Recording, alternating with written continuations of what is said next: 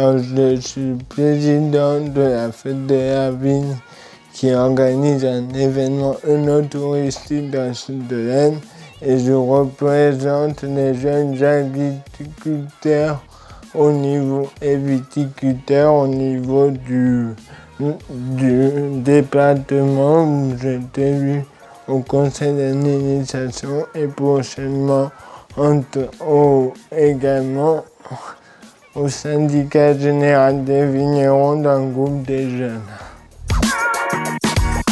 Je suis vraiment très touché de la reconnaissance envers le travail accompli et j'ai une pensée pour tout cela grâce à qui ça a été possible, ma famille et tous mes amis, les bénévoles des associations.